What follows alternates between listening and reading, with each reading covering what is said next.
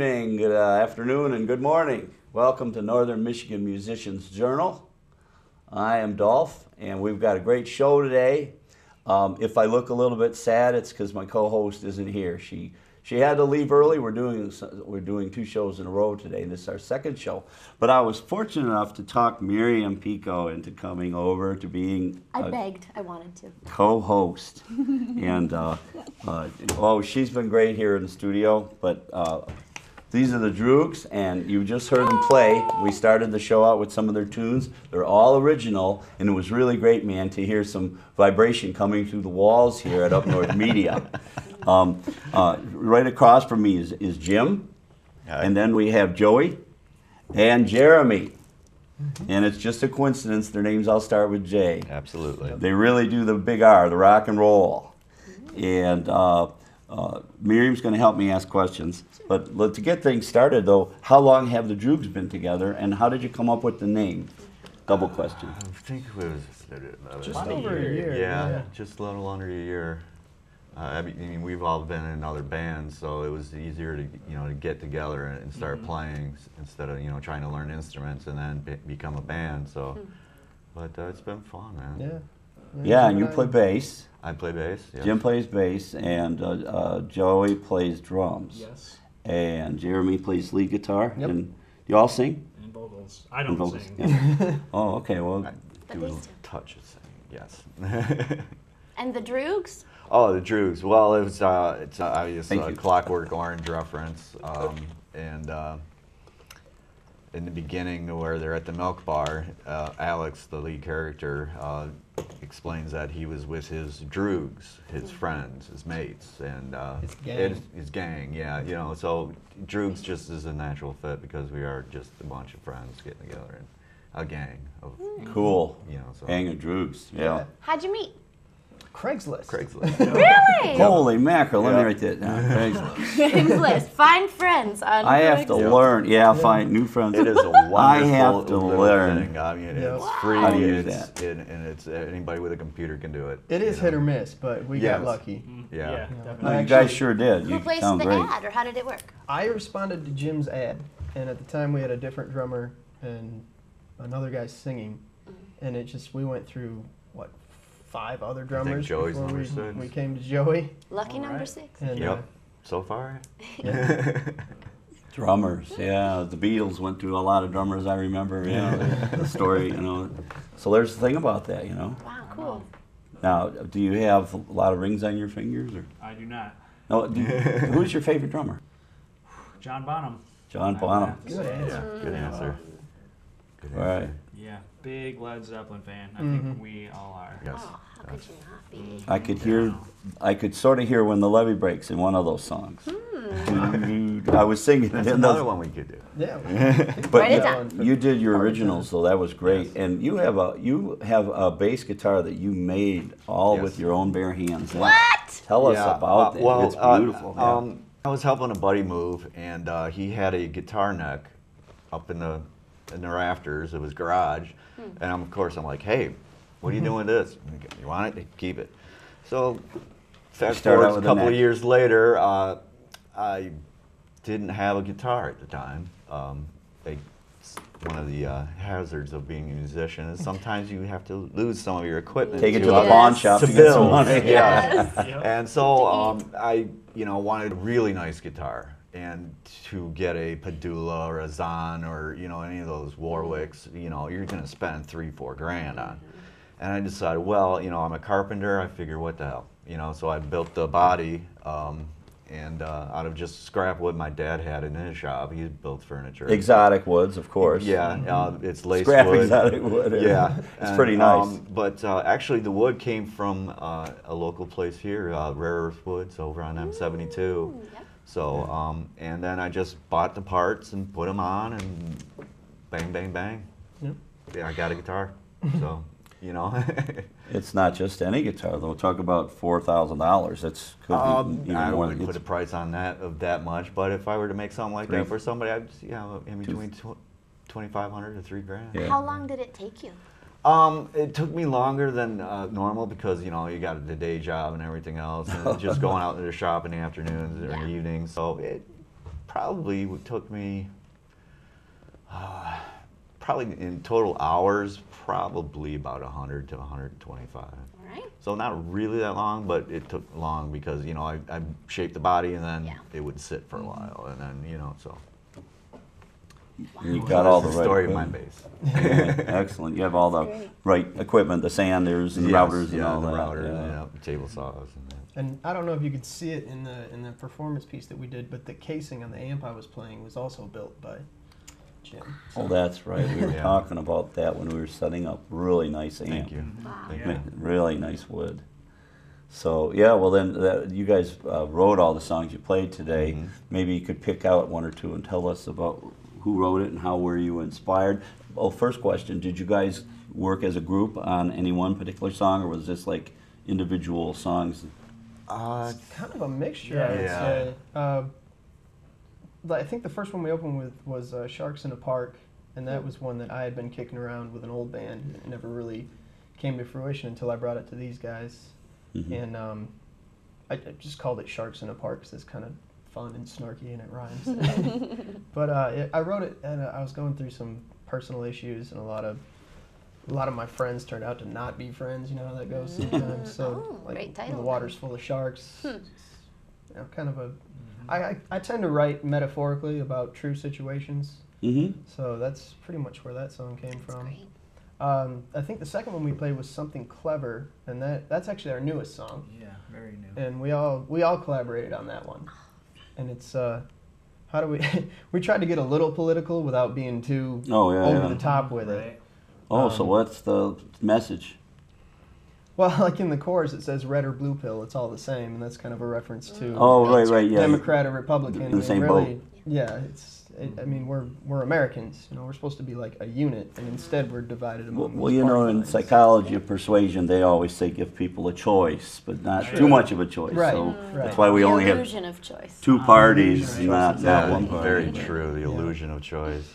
So then, when some smart aleck comes along and says play something clever, Bingo. you guys, ah! Right. you guys can play something clever. Well, that's actually how the name of the song came about. Was we were we had just come up with the shell of it, just you know, rough guitars and bass, and we had a just a, a drum track because Joey couldn't make it to practice that week, and I was sitting there trying to think of a song title, and Jim's like, just type something. I'm like, I know, I'm trying to think of something clever. There it is. Ah! So, Bingo. I yeah.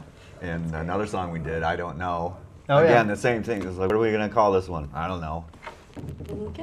and no one else, and there are no songs out called something clever or I don't know. So you guys got them. Uh, I never heard of it. I'm sure there probably is, but you know. I think our knows? next song is going to be called "What's Next" because it's another question we ask ourselves. So yeah, during the set, yeah. Actually, we were out in the lobby and uh, came up for another idea for a song. Uh, what was it again? Hurricane, what's her name? Yeah, Hurricane. What's her name? Oh, really? Nice. Because we couldn't think of the one that was blowing in from the East Coast. Sandy. Hurricane. Nice. What's her name?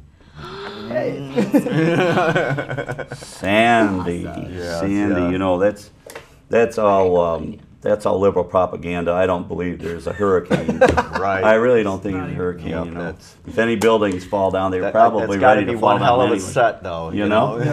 You Oh, the- yeah. yeah, the whole. Salt water in New Jersey. Yeah. I don't know, man. Yeah. What will Aquafina do? I know. That's a good question. They're going to have to spend more money on filters. Yes. Right. That's True. So, so, you know, well, it's really great having you guys here on Northern Michigan Musicians you. Journal. Thanks for Yeah, it's great to Having be here. Tell your friends that you should surf above the number 50 because we're on 97. Absolutely. And My if they, friend, I'm telling everybody. Yeah. yeah, and if they and if, and if they don't have charter cable, which is pretty popular around here, they can go on to upnorthmedia.org and look for our show, Mm-hmm. and uh, then they could see you guys and they could see Miriam. She was on our last show, and um, uh, I have a question. Sure. yes, How yeah. do people find out where you're playing? Do you have a website or Facebook or anything? We do. We do. Uh, we are at uh, on the World Wide Web at reverbnation.com Cool. front slash the Droogs Rock, all one word. Cool. Uh, we also have a Facebook page. Um, Is it the Droogs or the Droogs Rock?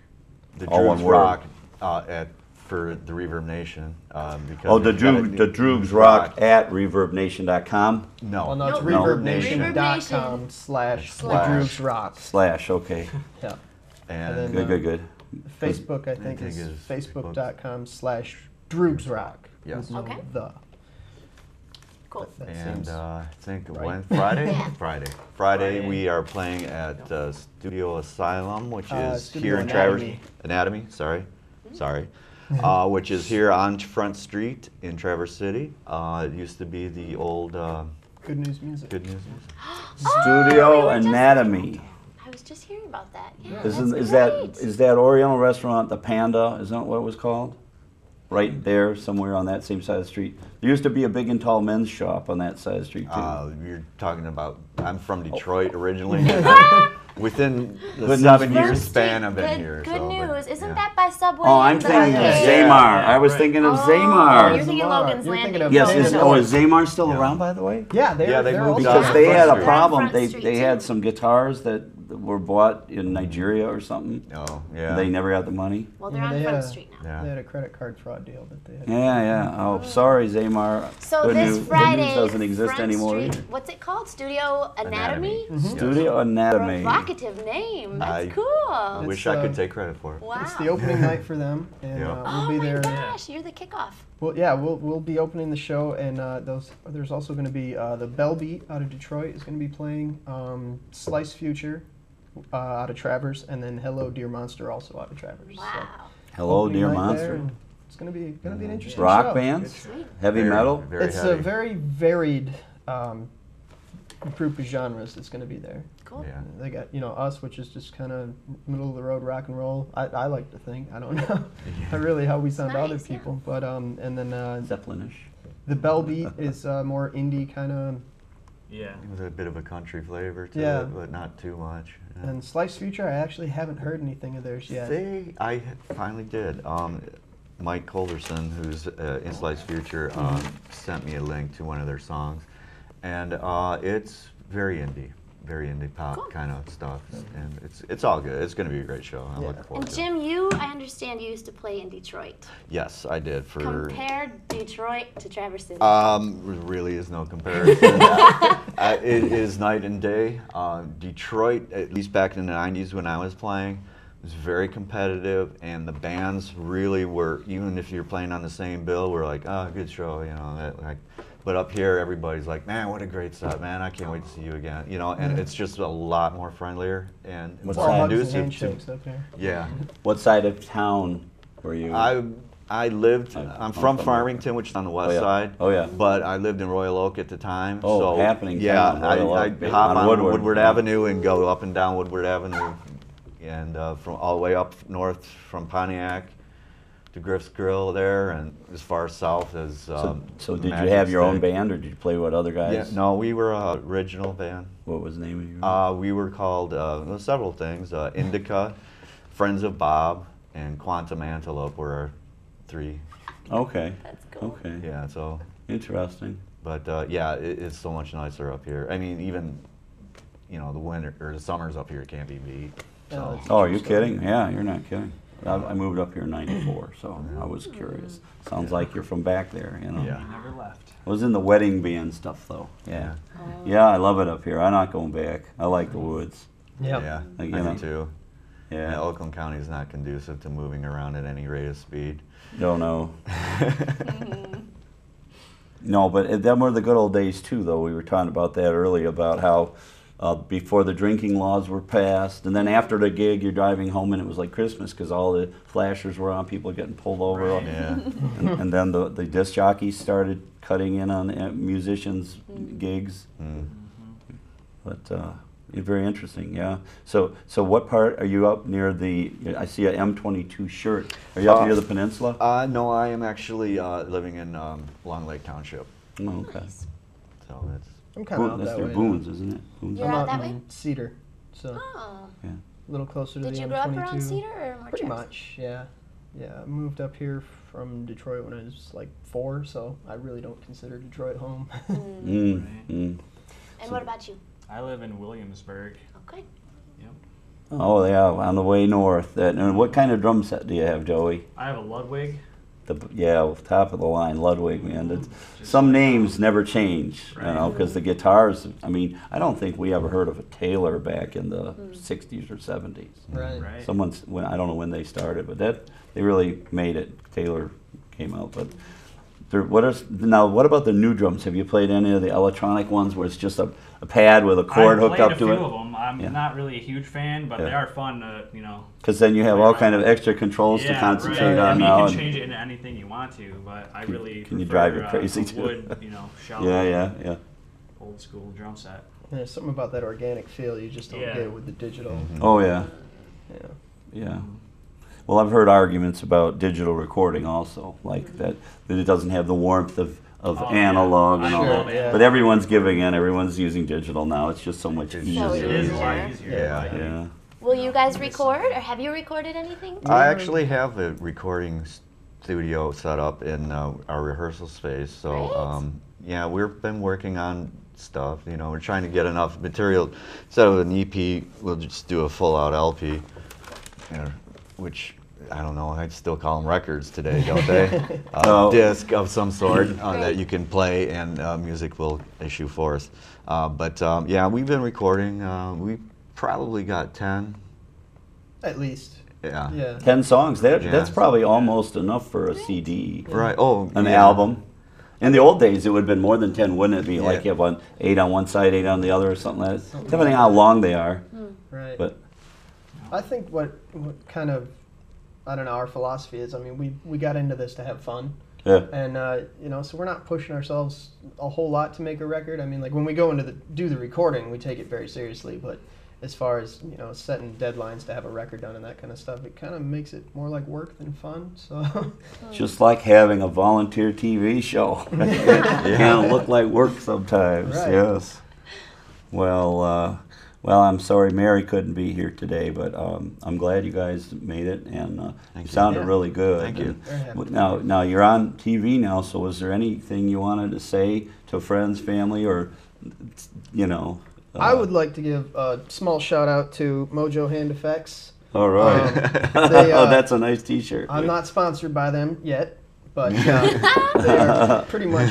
Uh, I, I kind of stumbled upon their website, and the guy wound up trading me one of his handmade pedals for one that I already had, and I just loved what they did to my sound. So Wow. give them a little plug. They're a great company. They do a lot to help, uh, you know, up and coming bands and that kind of stuff. And, Are they Traverse City? uh, they're Texas, Texas. unfortunately. I mean, if they were Traverse City, that'd be awesome. Starts with a T though. Yeah. It's sort just like you know. T for Texas, T for Traverse City. Yeah. yeah. Really. So. really close. Yeah. Yeah. So. What about you? What about you? Uh, I'd just like to thank you guys for having us on your show and all the northern No, yeah, you're- musicians out there. I'd like to thank you guys as well, um, um, and uh, support local music because uh, Absolutely. that's why we're here. And uh, I mean, uh, you're not only supporting the band, but you're supporting the venue that they play at. So it's uh, all Not from Win-win Texas, from situation. Traverse City. Traverse from City. Traverse City. and oh, and, and Williams, Williamsburg, Mhm. and East Jordan, and Mich- and Petoskey, and Boyne, they they count too. yes, Right. of course. Mackinac. Anything we should- north of Flint. Yes. We should thank Kilkenny's too. Oh, yeah, Yeah. absolutely. Oh, Kilkenny. Kilkenny's and Scarcasm, which hosts the uh, Wednesday night open mics. Uh, great. Yeah. yes, uh, They've uh, been really supportive. Dave, letting us Jo- play. Yeah. and- Joe, Yep. Or Jeff, and um, Adam. Yep. Great group of guys. Great. Wonderful. And of course well, our families. who Yes, been yeah, Oh, family. Wonderfully absolutely. supportive. Yes. Yeah, then folks, thanks for uh, tuning in to uh, Northern Michigan Musicians Journal, and uh, we hope uh, you folks enjoyed the show and uh, come back and watch us again, or you can go on upnorthmedia.org and see the show anytime you want. Fast forward through the crummy parts and just listen to the guys play. Thank you. Okay, we'll see ya. We are the Droogs from Traverse City, Michigan, and we're happy to be here on Northern Michigan Musicians Journal. This song is called Guillotine Smile.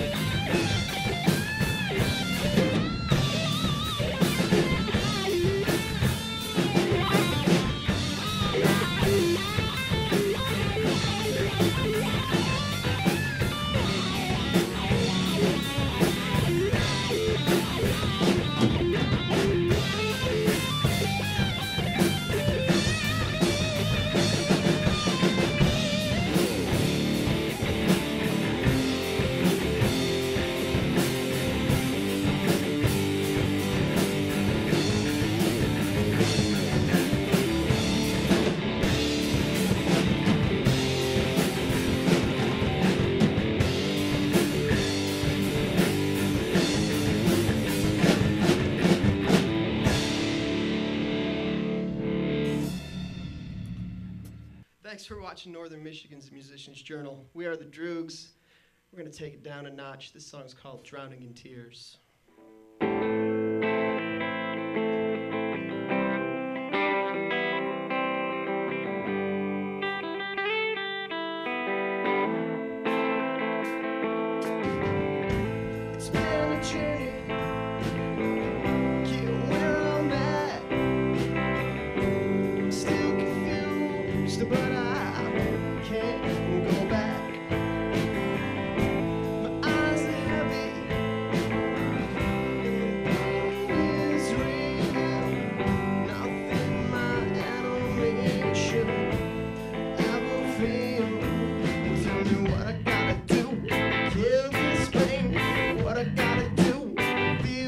day.